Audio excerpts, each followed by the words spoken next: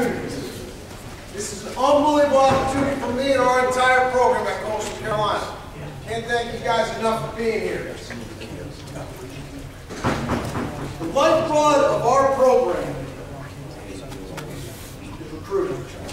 That's why you guys are so valuable to us. I want you guys to know that the staple of our program is development.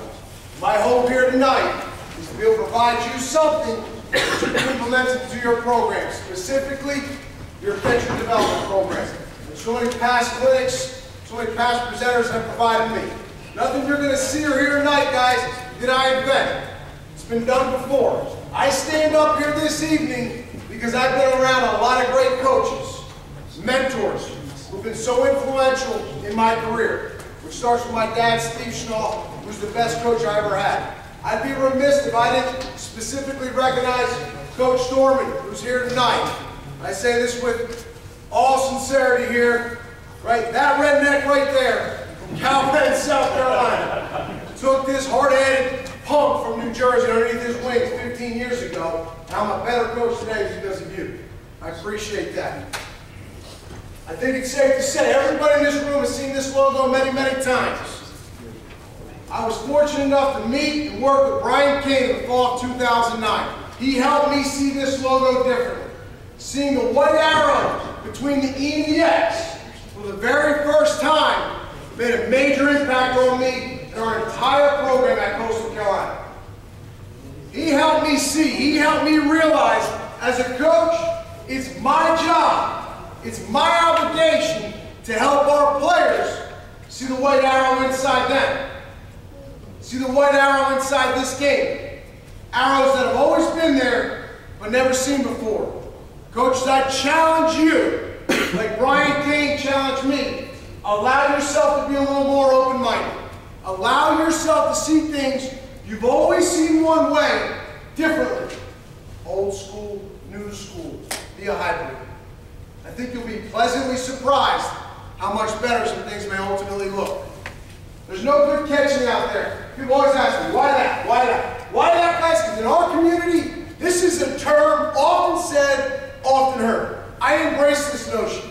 As you guys know, our catchers are asked to handle and control the baseball more than anybody else on the field.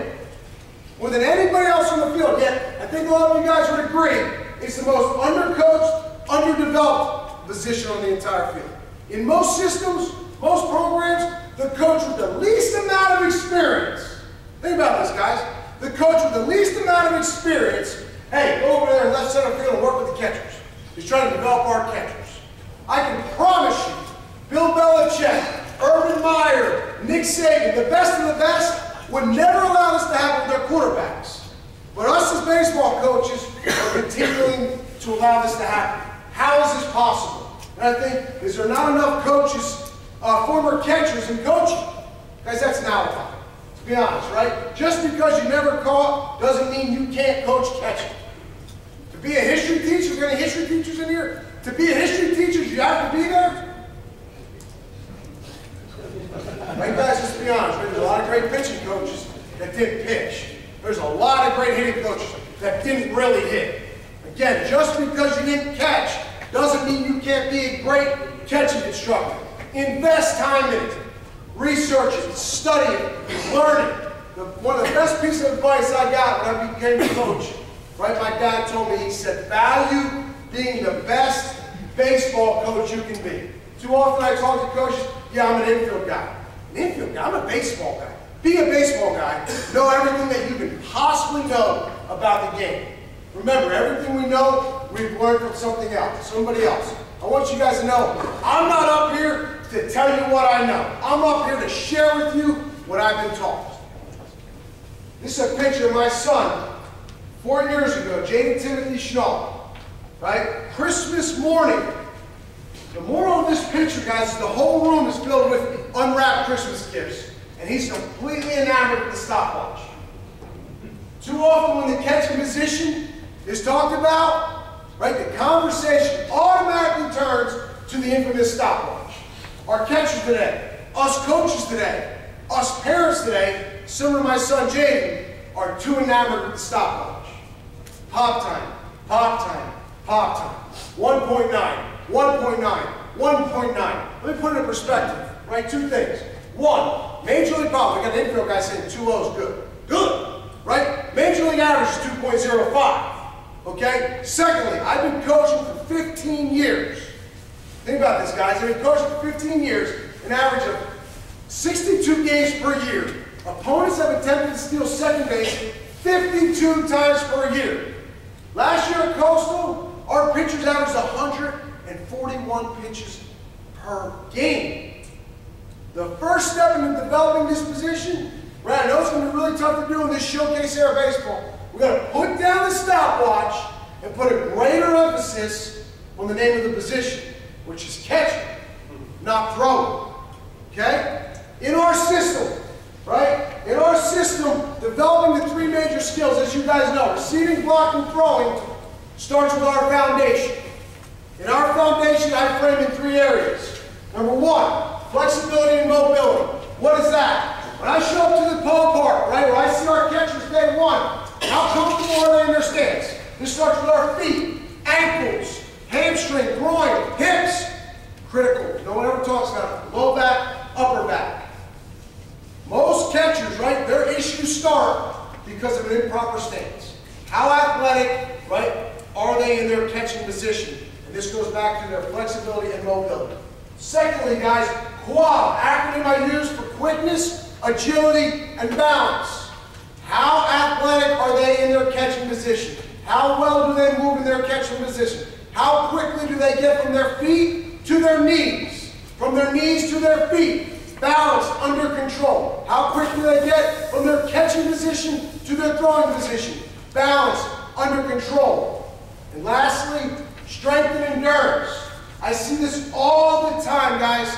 Okay? Just like I said earlier, last year our pitchers averaged 141 pitches a game.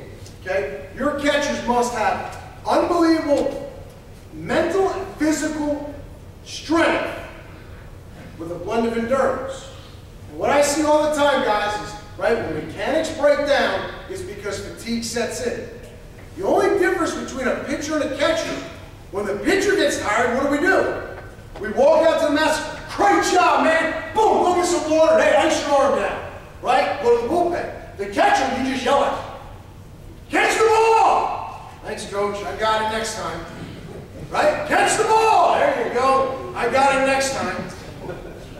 Right? That's sixth, seventh inning, late inning pressure situation is when the issues come up. And bottom line, guys, is they're tired. Fatigue is set in. They're not strong enough mentally or physically. Right? And in the summer, guys, they caught three games in one day. Right? Three games in one day, and we're yelling at them in the seventh inning of the third game, catch the ball. There you go. That'll get me going.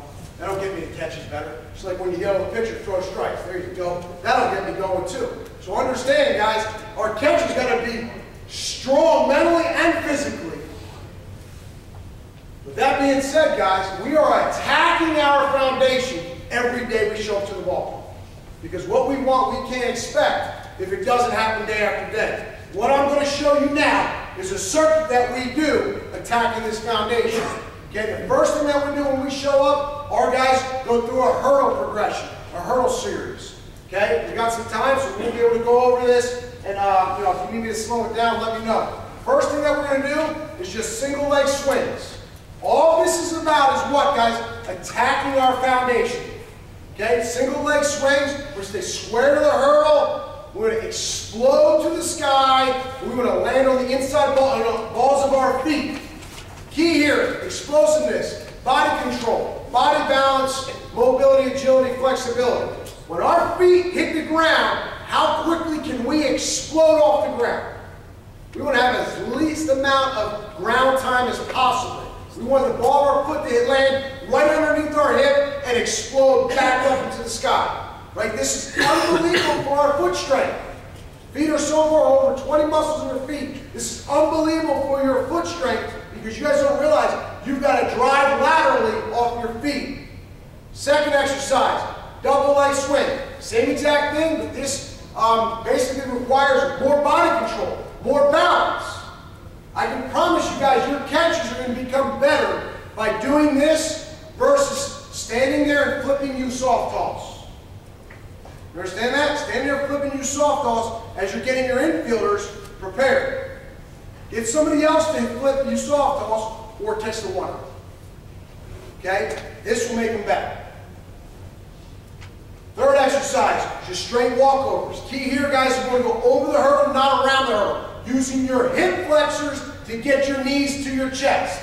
Knees to your pits, knees to your chest. Use your hip flexors to get your legs up. Body balance, body control, body coordination, rhythm. Now we're going to get into the rhythm. Walkovers with rhythm. When our foot strikes, how quickly can we get it back over the hurdle? Body balance, body control, rhythm.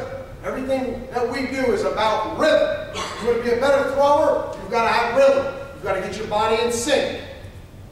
Coordination. Backwards rhythm. This is a very, very, this is probably the most difficult one.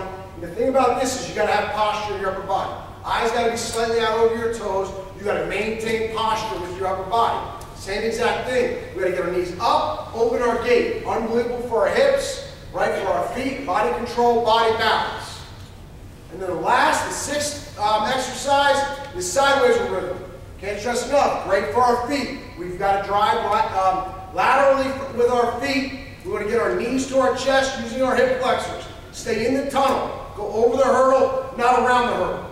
Your catchers do this before a game, right? Their body will be so ready to go, right? This will wake their body up. This will get their lower half ready to go, ready to catch at a high level. After that, strength, mobility, and agility stuff, endurance stuff. Okay, I want you guys to understand, we're fortunate. Okay, we've got a full-time strength and conditioning coach. I know a lot of you guys don't have that, so we're fortunate. So a lot of this stuff does get done in the weight room, so I don't have to do it a lot on the baseball field. But I can tell you that our catchers are doing an abbreviated version of this every day. It's a culture. Basically, if they don't do hurdles and they don't do an abbreviated version of this, they feel like they are naked. They have to get this in. This wakes their body up to practice or play at a high level. Okay, first exercise, I'm going to show you guys nine exercises. First exercise is a bridge with a reach. Push through our heels, right? This is awesome. We really got it. Um, we're, we're hitting our glutes, our hamstrings, and then the reach is so important. The reach is activating the T-spine, the upper back. So critical for catchers. That ball away, help me with my reach. You know, get the balls. Mobility in my upper back. Bridge with the reach. Again, push through the heels, extend up, glutes, hamstrings, hit multiple joints, one exercise. You can do this in between reps. We're doing receiving, we got another guy doing bridge with a reach. Now we got Spider-Man with a hip lift and a reach. Guys, fancy words for basically a lunge, right? And then from there, we're going to get a hip, hip lift, right? This is great for the hamstrings. Great stretch for the hamstrings, back down to our original lunge, and then a reach. Our eyes will follow our hands up. Again, opening up the uh, upper back, which is critical. Next is quick squat. Right, we want our knees in line with our toes, toes slightly pointing outward, feet wide and shoulder width apart, and now we're just going down and up. Get our ass below, parallel, exploding up. Right, how quick can we get in and out of our stance? Block, pop, jump squat. This is just basically getting from our catching position, right? So we're going from our feet to our knees, from our knees to our feet, and then we are exploding, right? Triple extension. Ankles, knees, and our hips to the sky. Again, a lot of your catchers won't have enough strength or endurance to do this probably more than six, eight times. Okay, so slow it. Ready to first time out of shoot, let's get five good ones. It's important that you're doing these right. You don't want them to get up, right, favoring one side. They got to use explode through their hips and land on both feet simultaneously. Squat walkouts.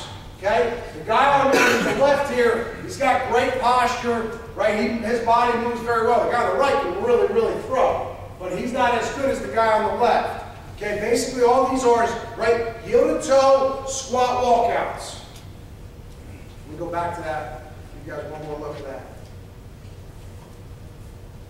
Okay? And we're going to go over that setup in a, in a minute, but you guys saw where they set up, now they're going squat walkouts. Heel to toe, maintaining posture. It's all about moving in your catching position. That's the name of the game. I don't care what you run the 60 in, what your line time is. You want to be a good catcher, you got to be able to move in your catching position. How far? 10, 10 yards. 10 yards.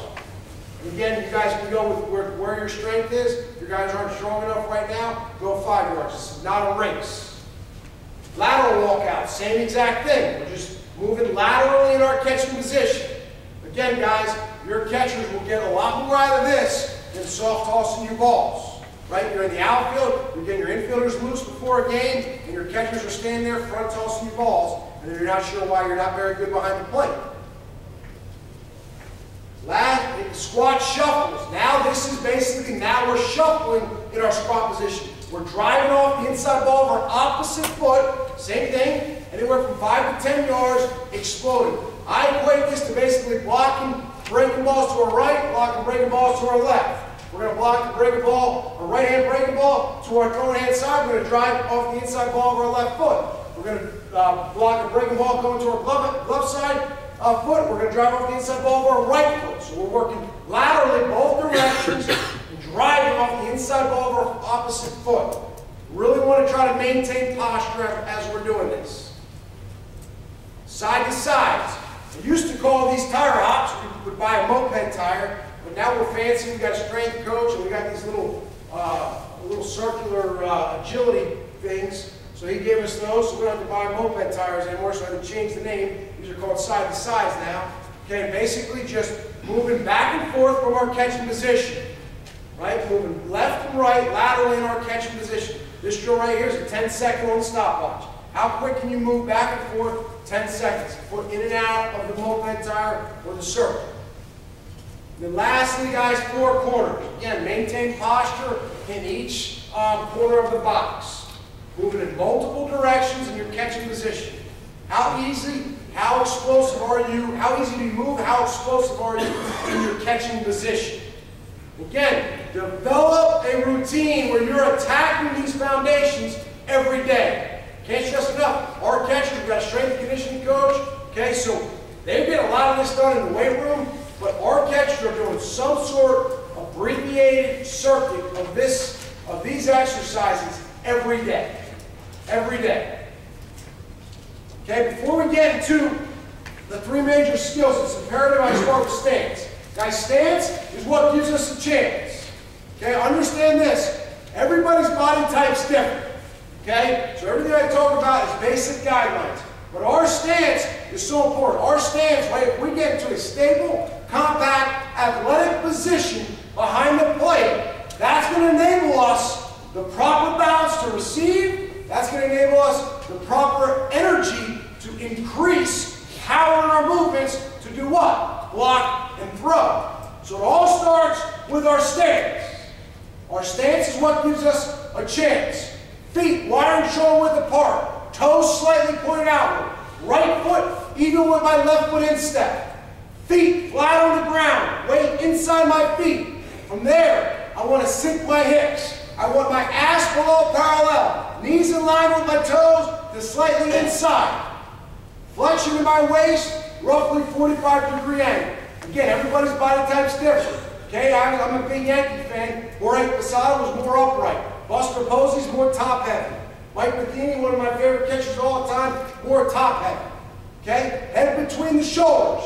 Glove side elbow in front of the glove side knee. Middle of my body. Target should be parallel with my knees, thumb down. Again, glove, middle of my body, glove side elbow in front of my glove side knee. My target should be parallel with my knees.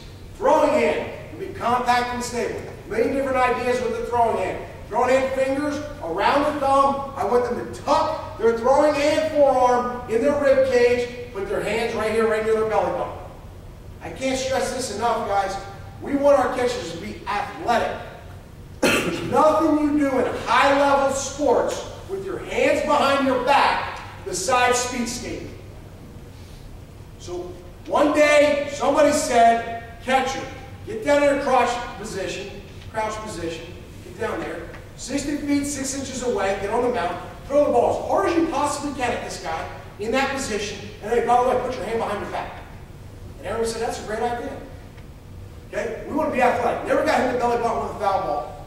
right? Never got hit the belly button with a foul ball. Foul balls are up here and down here near my feet. Okay, everything I want to do is based around being as athletic as I possibly can. When I block, my hand's right there. When I exchange, my hand's right there. Compact, athletic. You see, obviously, Matheny and uh, McCann, these guys are so top heavy, they can't even get their forearm into the rib cage. Okay, I put this in here recently just because this is the new flavor. Um, Salvador Perez, because he's with Kansas City, he's doing a hell of a job. This guy's six foot five, 245 or 265 pounds. Feet wide shoulder width apart, toes slightly pointing outward, hips below parallel, throwing hand out his rib cage, belly button, left side target, thumb down, head between his shoulders. Okay? From here, sign giving stance. Again, guys, at your level, this is so important. It's so important our level. Our mentality of our catchers, it's a culture, right? It's not about being a 1.9 thrower. It's about finding a way to make the guy 60 feet, 6 inches away better. That's our mentality. Plain and simple. We do a team test. On the team test, it says, pitchers only. Who do you want to catch you and why? You guys know who catches? Guy on that test. That's who catches. So that's the mentality so I don't care if it's a bullpen, first bullpen of the year, if it's the sixth bullpen in the same day, it don't matter. Our mentality is we're making that guy on the mound better. Okay, so it all starts here, sign giving stance. We assume everybody we play, everybody we play is trying to get a competitive advantage versus us. Right? So if they can get a competitive advantage for their offense because we have a lazy catcher, right, we're going to try to pick it up. They're going to try to pick it up. We're not making that guy better. Okay, so sign giving stance. You guys can see it right there. Basically, you're going to rest your hamstrings on your calves, ass above your heels. Right? Our toes, knees, hips, shoulders square to the pitcher. Rest my hamstrings on my calves, my butt below or above parallel with my heels, heels off the ground. I'm on the balls of my feet. Chest up, chin up, head between my shoulders. Left side, to extend my arm, rest my wrist on my knee. My pinky just basically becomes an extension of my knee. Throwing hand, forearm, hip flexor. I'm to give my signs right here on the inseam of my pants. Chest up, chin up. Right, I want our guys to think about pointing their knees inside the middle infielders. Point our knees inside the middle infielders. If I take a picture of our catchers, boom, first pitch of the game, Boom, 141st pitch of the game. They better be in the exact same position. The only thing difference is they might have a little dirt. But consistency in what they're doing, right? Attention to detail in what they're doing. I come to games all the time. Doesn't matter if it's a high school game or summer league game, man, you got that one inning hero. One inning warrior, he's ready to go. All of a sudden they're down 3 nothing. Screw this. Right? But hey, that's on us. Not on the kid. Right? Because, hey, if we emphasize it, we'll be good at it. It's not the kid's fault. It hasn't been emphasized. It hasn't been demanded. Again, coaches, you emphasize it, you'll be good at it. Sign giving stance is important. If your mentality is make that guy on the mound better. We're not making that guy on the mound better if we're basically lazy in our stance and we're allowing first base coach to pick up our signs. We're allowing the base runner to pick up our signs. We're allowing someone to pick up our signs. Listen, guys, I do not condone our catchers talking to opposing coaches. Okay, but I do condone our catchers to be aware of what's going on. So when you've got, excuse my language here, but an ignorant first base coach who's inside the baseline, looking in, trying to pick up signs, our catcher should see that. Right? He should see that because he's aware. Perfectly he sees it. And that first ground ball to shortstop, he should back up first base. Again, I don't condone our catchers to talk to opposing coaches. He backs up first base, and he tells the first base coach, Coach, I appreciate you. You're making me better. It's a great way to do it, right? Now he's going to feel like a moron. Right? Appreciate you. You're making me better. Get back to get back to home plate. Okay? Now let's go through the whole series. This is so important, guys. Again, our stance is what gives us chances. All the catchers, I see all the time, he can't catch, he can't block. Guys, the bottom line, all we ever hear infield guys talk about, oh, pre-pitch, pre-pitch, pre-pitch. You never hear catching guys talk about pre-pitch. It's the same thing. Right? There's so much time after we give a sign in what I call post-sign stance. So we give our sign, I'm very routine oriented with everything we do. So our catchers give a sign. After they give a sign, I want them to develop a routine. This is called post sign stance. What are we going to do? Pitcher acknowledges it, right? He looks in the, pitcher looks in the stands, winks at his girlfriend. He's still not ready to go. The catcher don't know what to do, right? So what do we do? I want our guys to pad a mitt, form their mitt, pull a string, develop some sort of routine. Rest their forearms on their thighs, tension free. At this time, right? We all think the game is mental. I want them to mentally rehearse what's about to happen. We call it the LCRs. Okay, so in their mind, LCR, what would the ball look like? What would the ball feel like if it was thrown to my left? What would the ball look like? What would the ball feel like if the ball was thrown to my center? What would the ball look like? What would the ball feel like if it was thrown to my right? So now when it happens, what happens, guys? I've already done it. I'm prepared for that. Okay? And then our timing is when the pitcher's out of the windup, when he gets to the highest point, we are going to skip to position. Out of the stretch, pitcher comes set. I'm mentally going through, I'm mentally rehearsing. Ball to my left, center, right. Pitcher's first movement. I skip the position. Again, number one goal, make that guy on the mound better. Okay? He needs you there a little bit earlier, give or take. But understand, our goal is to make him better. So if we're just a lead leg guy, we're going to set up early, fastball away, right hand hitter, right foot, left foot, let me get there early. Right? Fastball in, right hand hitter. Lead leg guy, gotta get there early, left foot, right foot. It does not take the marine biologist in the dugout to pick that up. Right? We've got what I call seed eaters or sock collectors, at least three every year on our bench. Right? They eat a lot of seeds and they collect a lot of socks. They don't play a lot, but those three guys on the bench, they got a hell of a job. They're in charge of bearing down the catcher. Bear down the catcher and the pitching coach. We can get a competitive advantage, can help our team. Okay, so our setup is important. Again, our goal is to make that guy on the mound better, and it's a lot easier to hit that 17-inch plate if it was 8 inches. Right, so we don't want to give their offense a competitive advantage. Understand timing. Big league game. Pitcher breaks his hands. He's basically, you see this catcher here, he's just expanding his feet. If we're going left to right, we're just going to skip out right, skip out left. The importance of this, though, guys, it takes one bullpen segment. Your, your catcher will never have to think about it again. But the importance of this is they can't skip narrow. They have to skip directly to their stance. They don't have time to wiggle to find their stance because the ball's what? Already on. So it's important. Again, one bullpen segment, they'll never think about it again. And if you emphasize it, they'll be good at it. And assume every team you play is trying to get a competitive advantage. When the game's over and you lose because the other team had your signs, you still lost. You can call it push, you can call what you want, you still lost. They won. They're getting a Sunday, and you're going home miserable. Okay? So don't walk out of there ignorant. Three major skills. Here we go, getting into this. Okay, guys? Three major skills, as you guys know, receiving, blocking, and throwing. What I'm going to do right now is I'm going to go over all these, these three skills, and I'm going to hit you guys with our strength points, our coaching points. Then I'll throw, show you three progression drills that we do regularly, regularly to attack these skills. First, guys, receiving. Okay? When it comes to receiving, first and foremost, our catchers need to know the ball's on a downward plane. The ball's on a downward plane, and we want to catch the back center of the baseball. Ball's on a downward plane, we want to catch the back center of the baseball. Okay? That starts with our eyes. Just like a hitter, you want to develop a consistent eye pattern. Okay? Broad focus, defined focus. We've got to get the baseball out of the hand. Broad focus, defined focus, develop a consistent eye pattern. Subtle movements are more natural. Okay, when I'm talking about body movements, I think it's important. When we talk about ankle sway, why do we ankle sway? Two reasons to ankle sway. Number one, to try to keep the baseball inside the framework of the body. Number two, to help increase reach. Too often our catchers, right, overemphasize ankle sway, overemphasize eyes behind the baseball, which creates over-exaggerated movements, wasted movements, which ultimately creates balance issues.